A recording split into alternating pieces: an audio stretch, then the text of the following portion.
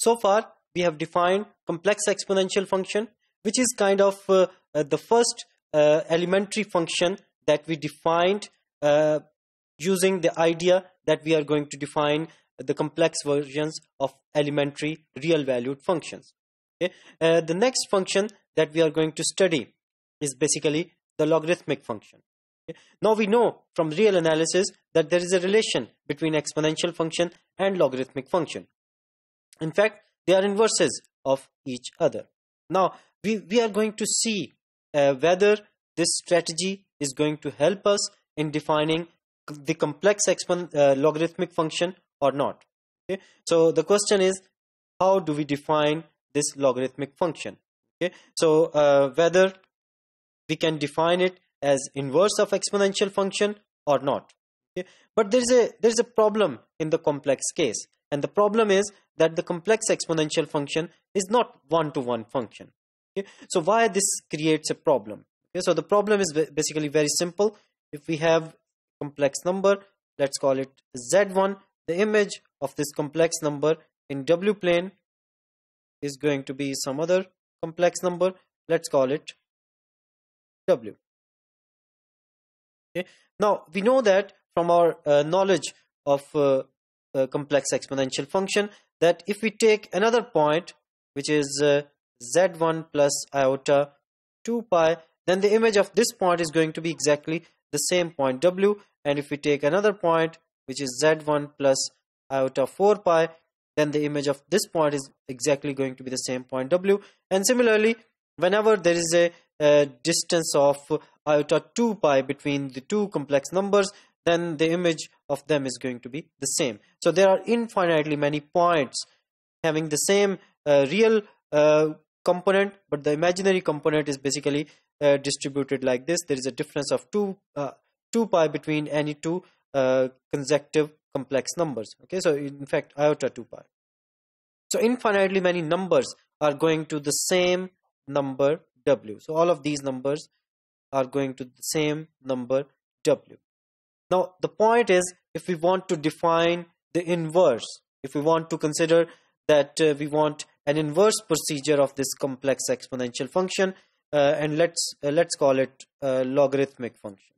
Okay? So is it possible to define such function? Because according to the definition of the function a function is a rule with the help of which each element of a set A is assigned to a unique element of the set B. Okay? Now in this uh, uh, scenario in this scenario uh, if we define this uh, uh, inverse function of this exponential function then corresponding to this w there are in fact infinitely many elements. Okay? So if we go back from w to uh, this uh, uh, from w plane to the z plane to define the inverse function then this w is will be mapping on infinitely many numbers in the w in the z plane. Okay? So to to solve this issue we define multi-valued function.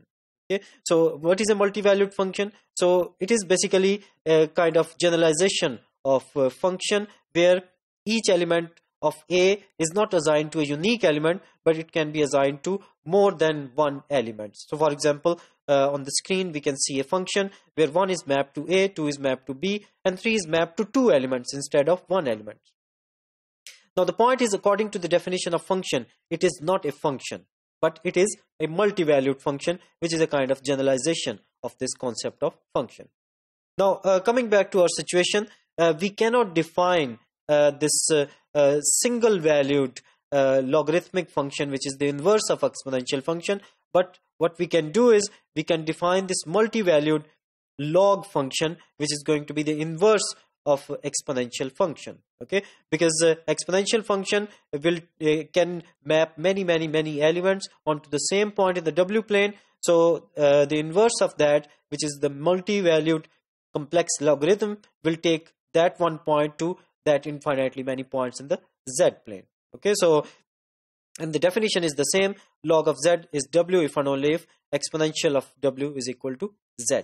Okay? So they are inverses of each other now multi-valued logarithm is inverse of exponential function. So once again if this is the exponential function e raised to power z then all of these numbers okay? So uh, if let's say this number is z1 then this is z1 plus iota 2 pi this is z1 plus iota 4 pi and this is z1 minus iota 2 pi. So all of these are going to be mapped onto the same number in the w plane okay so all of these are going to be mapped on the same plane. Now if we want to define the inverse of this uh, uh, map okay so let's call it log. Okay so if we want to define this thing then log of w is going to be equal to for example uh, this z1 this uh, z1 plus uh, iota 2 pi in general. Okay so in general this is going to be equal to so uh, z1 plus iota 2n pi okay so it, these infinitely many elements are basically the image of this one element w under this map of complex logarithm. Let's try to find the exact image of uh, some element w under this uh, complex logarithm. Now as we define it using uh, the fact that it is in, uh, in inverse of exponential function so we need to know that how did we define exponential function. Okay so exponential function is given like this. And we discussed that if we calculate uh, the exponential value of this complex number then it, it is always going to be w. Okay? If we apply a log on both sides so log of w is going to be equal to so log and exponential they will cancel out each other. And what do we get? We get exactly the same thing. Okay? So uh, and uh, this gives one uh, way of defining uh, the log the logarithmic value of any complex number w. So it is basically uh, the natural log of the modulus of w. So this is basically a real number. The modulus of any complex number is a, a real number. And over here this natural log is basically uh, the same log as we have seen in the real analysis case. And uh, this is the argument of uh, uh w the argument or the principal argument of w. And this is added over here 2 n pi okay? So uh, just to make sure that uh, we are getting all of the images of this w under this map of log. And if we denote the domain uh, by z instead of w then we get the following definition of uh, the complex logarithm. It is uh, a natural log of the modulus of z plus iota the principal argument of z plus 2n pi. Now this principal argument plus 2n pi can be written in the way that it is just the uh, argument of z. Okay so it depends on the situation. So from situation to situation we will see uh, which definition to use. Either we can use this definition or we can use the next definition. Now uh, the multivalued complex uh, logarithm has a problem that it is multivalued so that's why we cannot discuss some basic properties uh, that we defined for single valued functions so for example we cannot check continuity. We cannot find their derivatives etc etc so what we do is to solve this issue we define an associated single valued function uh, associated to this multivariable uh, multi-valued uh, complex logarithm. And the idea is very simple. Uh, we define uh, this multi-valued complex logarithm in a way that it's a natural log of the modulus of z plus uh, iota argument the principal argument of z plus 2n pi. Now if we take the value of n to be equal to 0 then we get a single valued uh, complex logarithm. And uh, we denote it by principal value of the logarithm and uh, we denote it with this capital L. Instead of small l it will be denoted as capital L log of z is going to be equal to once again uh, the real part. There is no change in the real part. It is just uh, the natural uh, log of the modulus of z plus iota the principal argument of z. And there is no 2 n pi now so it is a single valued function. Okay? So what is going to be the domain of this uh, principal value of the logarithm? So the principal uh, the domain is going to be the set of all non-zero complex numbers because uh, we we know that uh, in the range in the image of exponential function there is no zero. So that's why the inverse of that will not contain zero in its domain. Now uh, what is going to be the range of this uh, principal value of the logarithm? So it is going to be equal to natural log of z plus iota argument of z. There is no condition on the first or the real part of this uh, z because uh, uh, the log of uh, this modulus of z could be any real number okay? So uh, if you vary these complex numbers these non-zero complex numbers because we are only applying it on non-zero complex numbers because for zero uh, zero is not in the domain. So if we calculate uh, this thing then it could be any any real number. But there is going to be constraint on this the principal argument of z. And what is the constraint? So the constraint is that it must lie between pi and minus pi and over here pi is included and minus pi is not included so that's where the argument of z lies. Okay? So uh, what does this imply? So this implies that the range of uh, this principal value of the logarithm is going to be equal to set of all complex numbers such that the, its image sorry the imaginary part of this uh, uh w lies between pi and minus pi. Okay? So uh, let's say this is the z plane and this is going to be the w plane. And we want to see the image values of this function which is principal value of log. Okay we want to see this thing. Now once again this uh, 0 0 is not in the domain so it is uh, dotted and it is not included. Okay and secondly when we apply this principal value this log on the entire complex plane apart from this uh, origin then we get values that lies between minus pi and pi. Okay so this is minus pi and this is pi and over here pi is included so it is solid line and minus pi is not included so it is dotted line.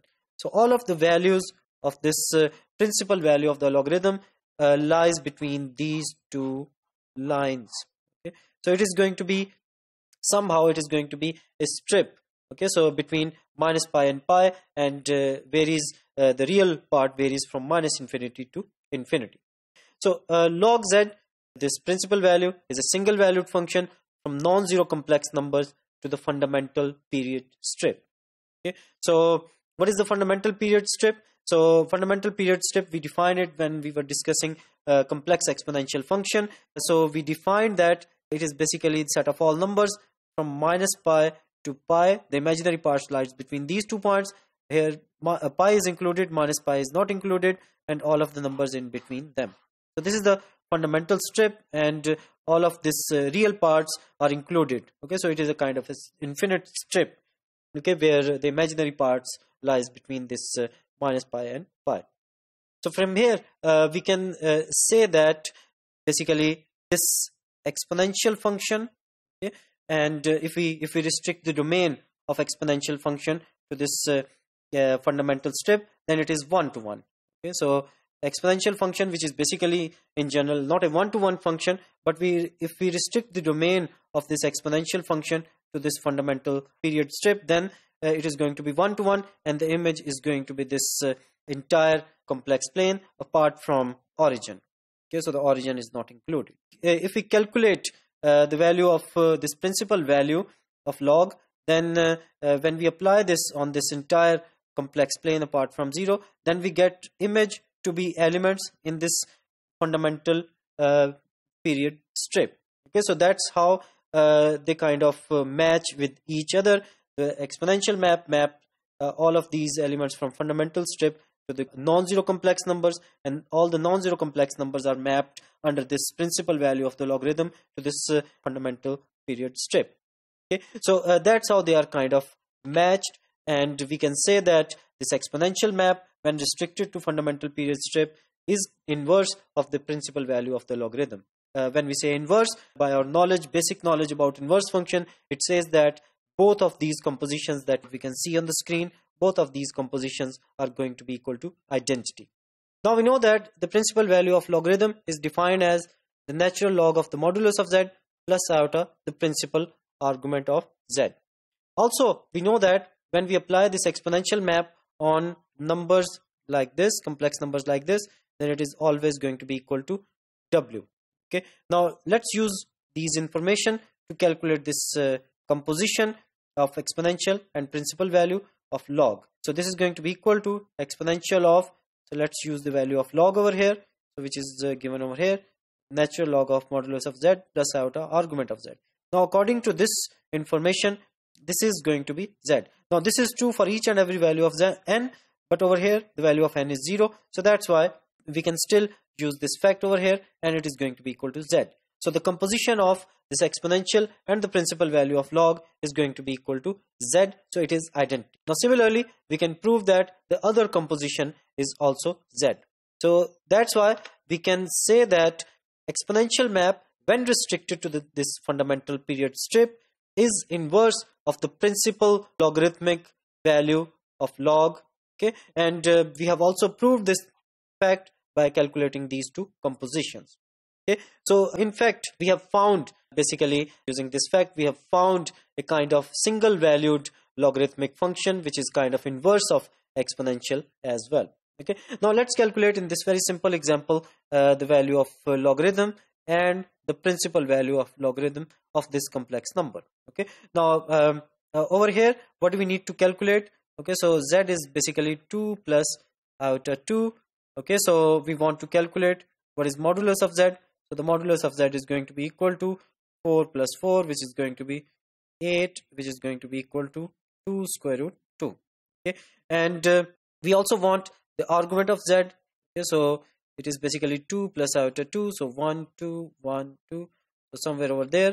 So this is 2 uh, okay so this is 2 plus iota 2 now um, basically uh, we can see that uh, the principal argument is going to be equal to pi by 4 so the principal value of the argument is basically equal to pi by 4 okay? and uh, so what is going to be value of the principal value of the logarithm of this complex number z which is basically 2 plus iota 2 it is going to be equal to okay so log of 2 square root 2 plus okay so uh, iota and pi by 4 so this is the principal value of the logarithm and in general uh, the log of 2 plus iota 2 is going to be equal to log of 2 square root 2 plus iota pi by 4 plus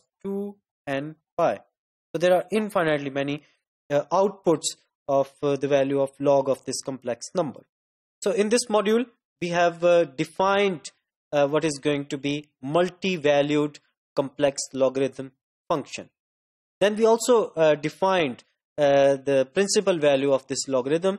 And then we checked that if we restrict the domain of exponential function to the fundamental strip, then this principal value of the logarithm is inverse of that restricted exponential function. Now this information is going to help us in uh, finding other properties of complex logarithm function.